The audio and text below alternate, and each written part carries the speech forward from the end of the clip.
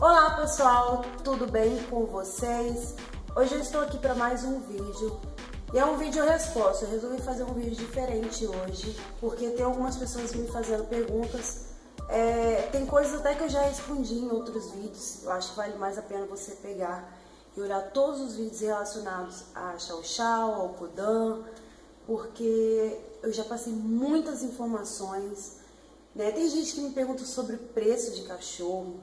Né? Isso, gente, varia muito. Então, assim, varia muito do porte do cachorro, varia muito do, de quem está vendendo. Se ele é um cachorro que tem uma linhagem, se ele é um cachorro que não tem uma linhagem padrão, é, mais apurado, né? Porque tem gente que não está muito preocupado em fazer cruzamento, só está preocupado em fazer, ter os filhotes e vender, tá? Já tem pessoas que não, que já são criadores qualificados, né, com qualidade, né, que vende cães com qualidade. Então, assim, é, preço eu não tenho como passar, gente. Eu, eu, posso falar mais ou menos, mas isso é assim, é, a partir de tanto até tanto. Vai do que você quer e vai do que se você pode pagar. E assim, tem feito, algumas pessoas têm feito perguntas é, que eu acho que vale a pena responder. E, e uma pessoa, ela até é uma criança, ela falou que ela tem 11 anos, que ela me fez uma pergunta e eu achei que vale a pena responder aqui no vídeo para vocês. E ela me, ela me perguntou assim, é, Oi, eu tenho 11 anos, será que vale a pena comprar um para mim? E aí depois ela perguntou também sobre se é recomendável pedigree sachê. São duas perguntas interessantes. E aí eu falei, nossa, vou, vou responder isso em vídeo. Bruna, essa resposta é para você especificamente e para pessoas que têm essa mesma dúvida que você. Então, assim, é, vale a pena comprar um para mim? Aí que tá, gente. Vale a pena o quê? O que, que você quer? Você quer um cachorro para poder é, apresentar? Você quer um cachorro bonito? Né? O Chau Chau ele é um cachorro muito bonito, é um cachorro que chama atenção por onde passa, porque ele é um cachorro bastante peludo, mas ao mesmo tempo que esse pelo dele é, uma, é um diferencial, é uma vantagem, ao mesmo tempo isso também pode ser uma grande desvantagem para você. Porque ele solta muito pelo, principalmente na época de verão, ele solta muito pelo, pensa muito, é muito pelo mesmo, tá? Faz bolos de pelo. E assim, não adianta reclamar, porque se você cuida dele no, no, no quintal, ele vai se sujar mais, tá? É, o chau chau, quando ele é desse porte aqui do Kodan, para mais gordo que ele, que existe, tá, gente? Eles babam muito aqui, por isso que na tosa, no vídeo da tosa, eu gosto de baixar bem aqui, para que ele não fique tão sujo nessa parte aqui. Ele vai beber água e aí escorre mesmo, baba muito. Tá? Tem cães que não. Eu já tive uma chau preta que o poste dela era mais magra e ela não babava, né? Mas assim, se for preto, dá uma cor. Se o chau for preto, ele fica sujo, ele fica como se fosse empoeirado, né? Ele não perde aquele brilho. E se ele é claro, se ele é de outras cores também, ele fica mais sujo. Então, ao mesmo tempo que o pelo é uma vantagem, é beleza do chau chau, né? Eu, particularmente, não gosto de fazer tosa muito baixa, no poder mais baixo do que aquilo. Para mim, aquilo é o limite, é só para arredondar mesmo. Eu não gosto de fazer aquela tosa de leão, eu acho que fica esquisito e o cachorro sente um pouco, né? Ele fica meio para baixo. E assim, é... aí que tá, vamos voltar à pergunta dela. Vale a pena ter? Olha, se você é uma pessoa que tem paciência, né, para cuidar de cachorro, beleza, ok. Se você é uma pessoa que dispõe de pelo menos um pouco de tempo, Chow Chow ele não é uma raça que exige que seja muito carente, que você tem que ficar em casa o dia inteiro, senão ele come as coisas. Pelo menos o meu e alguns que eu já vi não são. Eu sei que varia de cachorro para cachorro, mas no geral, no geral, tá? Eles têm esse comportamento, eles são mais tranquilos assim, ó. Kodan, ele é muito tranquilo, tá? Ele é muito companheiro. É, ele fica atrás de mim, assim, praticamente o dia todo. Se eu tô cozinhando ali na cozinha, se eu estiver ali na cozinha, ele fica por aqui deitado debaixo dessa mesa que nós tiramos as cadeiras que a gente vai varrer agora. Mas aqui ficam umas cadeiras aqui nesse lugar aqui, ó. E aí ele fica deitado ali. Ali é como se fosse a casa dele. Então ele fica ali direto. Mas se eu estiver aqui no computador, ele fica aqui sentado. Se eu estiver no meu quarto, que é aqui na frente, ele fica também deitado. Se eu estiver na sala, ele vai para a sala. Enfim, gente, aonde eu estiver, ele quer estar tá perto. Isso eu já falei em outros vídeos para vocês. Então, assim, se você é uma pessoa que é, tem condição de comprar o remédio para ele, para tratar essa questão de pulgas, carrapatos, é, é interessante. É, porque, gente, eu, eu tô falando isso não é para desanimar ninguém, pelo contrário. Mas é porque eu acho assim, uma injustiça uma pessoa que compra um animal, qualquer que seja, qualquer que seja, uma calopsita, um coelho, um, qualquer coisa que não tem condição de, de dar pelo menos o, o básico para ele, que é alimentação, água, né, fazer um carinho, tratar bem do animal. Eu já vi muita gente pegar cachorro, só que eles acham bonito, acham como se fosse um ursinho, aí o cachorro vai lá e faz cocô. O cachorro, ele mija, tá? O cachorro, ele solta pelo. O cachorro, ele tem pulga, carrapato. É igual criança pega piolho na escola, você tem que cuidar. Então, cachorro é carrapato e pulga, tá? Cachorro se suja, ele precisa tomar banho e por ele ter pelo, você tem que secar ele. Então, o cachorro, gente, você tem que dar uma boa ração para ele. Porque se você pega e dá uma ração de má qualidade, de qualidade, mesmo que seja prêmio, é, assim, eu costumo dar uma super prêmio. E quando eu estou um pouco apertada, assim, que eu preciso fazer alguma mudança, eu passo pelo menos para high prêmio, que é um pouco que fica entre a prêmio e entre a super prêmio.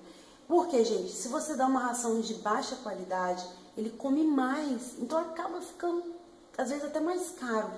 E quando você dá uma ração super prêmio, além de você estar tá dando um, um, um alimento para ele mais rico né, em substâncias, você, ele, ele faz menos cocô, ele come menos. Pelo menos essa é a indicação que eu tenho do, da, dos veterinários, dos donos de casa de pet shop que me informam tudo sobre isso, né? Então, assim, as vacinas, entendeu? Então, a gente tem que ter consciência de que quando pega um animal, isso não, isso não vale pro, pro chau-chau, isso vale para qualquer cachorro, para qualquer gato, para qualquer bicho que você tenha em casa. Então, se vale a pena, isso é uma resposta, assim, que você tem que fazer para você. Você tem que saber se o seu ritmo de vida dá para se ter um animal em casa. Então você tem que analisar isso mais que eu. Gente, por favor, avalie se é interessante para você ou não, tá? Outra pergunta foi a Jéssica Liz que me fez. Ela falou: Olá, Débora, eu sou apaixonada pelo Chau Chau e vendo seus vídeos tomei a iniciativa de comprar um. Só que, meu Deus, ele chora muito e tem dois meses. Quando o Kodan tinha essa idade, ele chorava também? Como você fez para ensinar ele a fazer as necessidades dele? Eu também moro em apartamento. Bom, gente, é, isso é uma pergunta que eu recebo constante. É sobre essa questão de como ensinar ele a fazer as necessidades é, em algum local. Bom, vou fazer, vou responder a primeira, né? Que é a questão dele ter dois meses e chora muito. Gente, quando, quando você compra um cachorro, ele é separado dos pais. Ele é separado daquele lugar que ele cresceu, que, que ele né, teve os seus primeiros dias, seus primeiros momentos ali. Ele é separado da mãe, ele é colocado em outro local diferente que ele não conhece.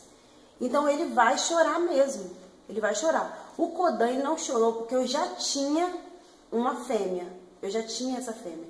Mas quando eu comprei essa fêmea, meu Deus do céu, ela chorou tanto, mas tanto. E a gente morava numa outra casa que também era como se fosse um apartamento, a gente não tinha quintal.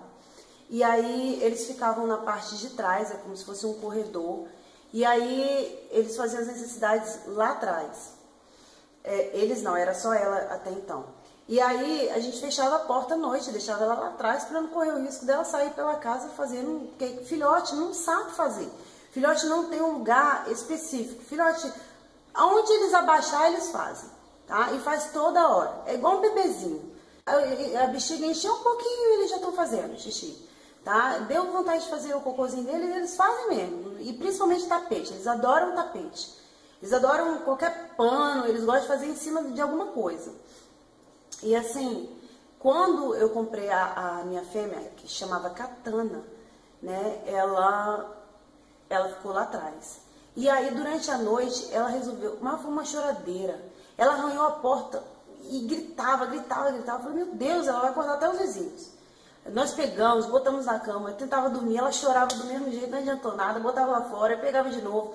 Foi uma loucura, foi uma loucura. Olha, acho que duas ou três, as duas ou três primeiras noites, ela chorou. E depois não, depois ela acostumou e ficou tranquila. Acho que ela até esqueceu de onde que ela veio. Né? Mas assim, as primeiras noites foi bem difícil mesmo, acho que foi duas ou três. É, em relação a como ensinar a fazer as necessidades, eu não tive essa questão. Na verdade, eu, eu não sei como se faz isso. Eu já teve, vi alguns vídeos na internet como fazer. Você compra, quando é machinho, você compra um conezinho, compra tipo uma fraldinha. Ele tem que sentir o cheiro de xixi, né? Quando é filhote, ele, igual eu falei, eles não têm um local definido é aonde der vontade, é ali que tá e ela faz.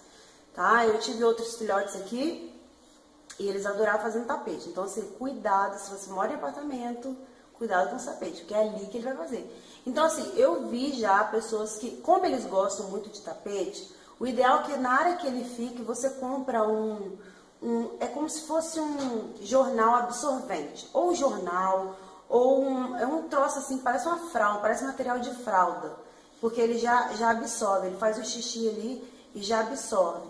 Então eu já vi esse material. Por quê? Ele substitui o tapete, tá? Porque eles adoram tapete, gente. Adoram tapete. Eu não sei o que, que tem no tapete, que eles gostam de fazer xixi e cocô no tapete. Então, assim, eu já vi que é assim. Bater, gente, não resolve muito, tá? Então eu não aconselho vocês baterem nos animais. Né? Às vezes, quando eles faziam num local assim que eu não gostei, eu esfregava o nariz perto do cocô, assim, para eles sentirem que eu não gostei daquilo. Mas não esfregava para me machucar, não, só para eles é, sentir que eu estava brigando, tá? Então, eu não sou a favor de maltratar animal, jamais. Era só uma correçãozinha assim de, ó, que brigava e pegava e esfregava. Já fiz isso já. E o Kodan, eu moro no apartamento aqui, como eu já falei, né, vários vídeos, mas o Kodan, ele, ele ficava em quintal. No quintal, eles gostam de fazer em grama, em, em terra, assim, é, em terra, né? Areia ou terra mesmo. Então, eles gostam de fazer necessidades dessa maneira.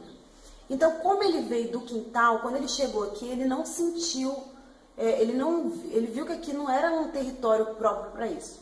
Então, já no primeiro dia, o que, que eu fiz? Eu não esperei, gente. Nós chegamos e já começamos a levar ele de manhã e de tarde, de manhã e de tarde. E aí ele entendeu que a gente ia fazer isso sempre. Então ele espera a hora dele. Agora, por exemplo, já são. Vai dar 10 horas da manhã, né? Falta 5 minutos para as 10 que eu tô aqui gravando para vocês. E ele já foi. Né? Ele acabou de chegar, tá descansando. Né? Ele, é só o tempo mesmo dele fazer lá as necessidades dele e voltar para casa. Tá? E ele gosta muito de fazer em grama. É o lugar que é preferido dele. Aqui no quintal da minha mãe, que eu moro em cima. Então, se eu soltar lá embaixo, lá tem um jardim. Aí é lá mesmo que ele vai fazer. Então, eu já nem desço com ele, já desço com ele na coleira, da coleira eu já saio e vou pra rua. E aí ele faz as necessidades dele. geralmente é lugares assim que ninguém anda, né? Ele escolhe um local lá, e escolhe mesmo, tá? Ele fica rodando até achar um local para fazer. Então, assim, aí eu solto, é bom que ele né, é, passeia um pouco, porque fica estressante ficar só preso aqui dentro de casa. Então ele passeia um pouco e ao mesmo tempo já faz as necessidades dele. E sobre a questão de que eu esqueci de responder foi sobre se é recomendável dar é, pedigree sachê. Gente, nesse vídeo eu vou fazer só essas quatro respostas. Acho que são quatro no total, né? É, por quê, gente? Senão o vídeo vai ficar muito longo. É, eu não indico dar pedigree sachê, porque eles viciam, né? Porque é gostoso para eles. E aí vai começar a ficar muito caro. E isso dá diarreia no cachorro. Isso tira, a, a, é, desestrutura o organismo dele. Não sei se eu posso falar assim, mas para que vocês entendam melhor.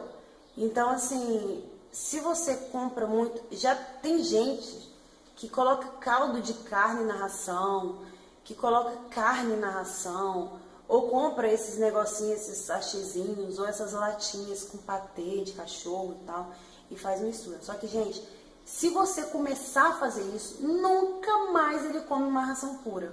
Ele vai comer sempre com isso. O Kodan, por exemplo, só come ração, eu não coloco nada, nada. E se eu resolver colocar alguma coisa que seja coisa própria para cachorro, ele vai ter diarreia. Desestrutura, a, a, desorganiza, sei lá, a flora intestinal dele. Então, assim, eu não, eu não faço, tá? Eu não faço, não recomendo, porque só a, a ração ela já tem tudo que o cachorro precisa. Eu sou mais de você comprar uma ração com uma qualidade melhor e superior do que ter que ficar comprando esse tipo de produto, tá? Uma vez ou outra você fazer um agrado, tudo bem, mas depois que ele já estiver acostumado. Por exemplo, agora, quando ele já tem 4 anos, aí eu pego, vou lá e compro. Nossa, ele adora. Mas é só, só aquilo e o sachêzinho eu divido em duas. Porque se eu colocar um sachê num, numa porção só de ração, ele vai ter dor de barriga. Então aquele sachêzinho eu divido em duas partes, só para dar um cheiro para ele, para ele achar que tá gostoso né? Porque cachorro, ele sente o olfato muito bom. Então é isso, pessoal. Eram essas dicas que eu queria deixar aqui para vocês. Né? Espero que vocês gostem. Continuem fazendo perguntas e eu vou voltar aqui com mais respostas para vocês. Esse é o canal Débora Brook. Um grande beijo para vocês e até o próximo vídeo. Tchau!